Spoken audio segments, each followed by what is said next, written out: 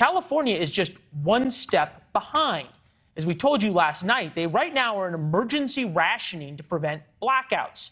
We need to conserve as much energy as possible, tweeted Gavin Newsom. He wants you to set the thermostat to 78 so you don't use the air conditioning. Avoid using large appliances is also on his list. So you think it's 80 degrees inside the governor's mansion? Do you think his wife is hand washing laundry or scrubbing dishes in the dark so they don't use the dishwasher?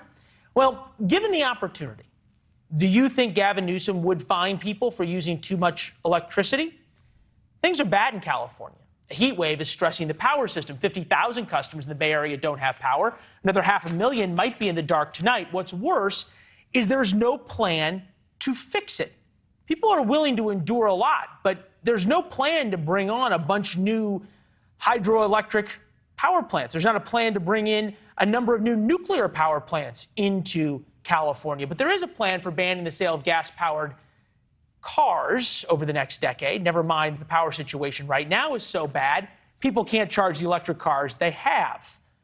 That qualifies as a major appliance. This is all just fine with Ethan Bearman, radio host in California, who's with us now. And the lights are on. If your shot drops out, we, we won't hold it against you, Ethan. Uh, but, but shouldn't this really profoundly scare the rest of America that so many look to California as the green utopia? No, uh, this is actually a consequence of us driving our gas powered cars and coal burning power plants.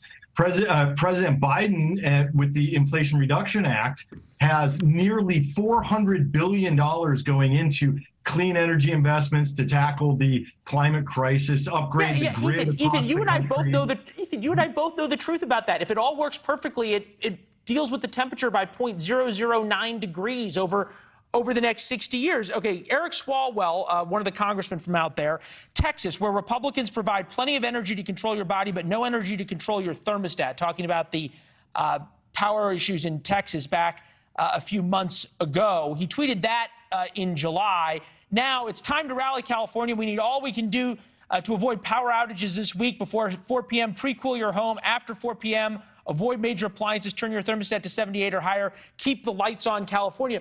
Who wants to live in a state where you can't use your dishwasher? How is that a yeah, model? Well, we, look, it, it, we have over $2 billion that just passed in the California budget to add new energy sources, to add energy storage.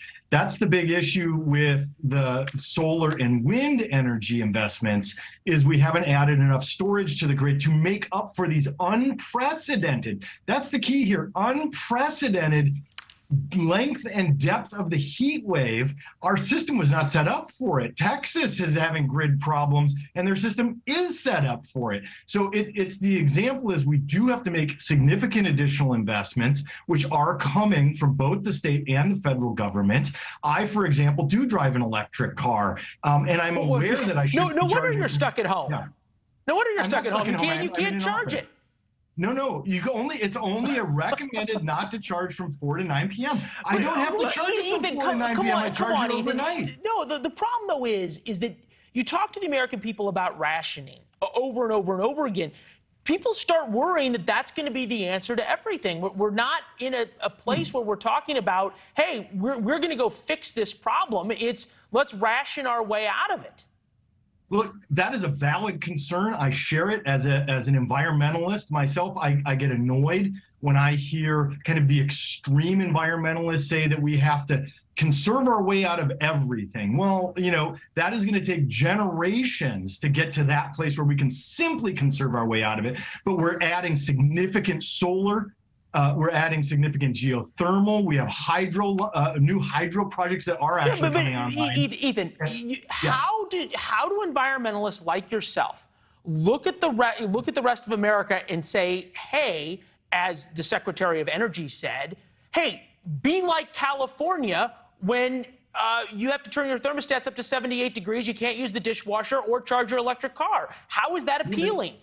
It, it's not, and it wasn't to Texans either under Governor Greg Abbott's absolute failure to do anything about their grid. At least Governor Newsom is doing something. He has huge funds in the budget to address our grid. Wait, but, but you're, you, are going back to, to you're doing the same things though that got us here. It's hydroelectric, it's solar.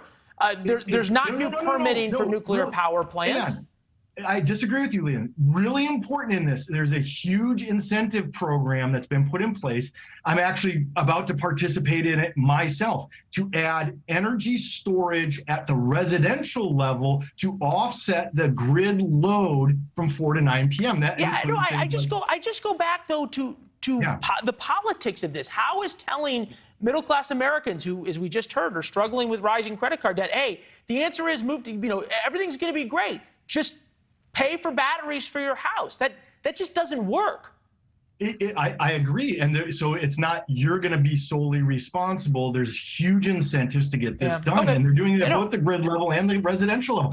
This is All not right. a long-term problem that we're facing. It, it only is if we weren't addressing it by making these huge investments over the next couple of years. Well, uh, we'll see, we'll see if we're talking next year about it. It's good to see you, my friend. Thank you. Thanks, Leland. Thanks for watching. Go to newsnationnow.com to find News Nation on your television provider. And don't forget to subscribe. Click the red button to get more of News Nation's fact driven, unbiased coverage.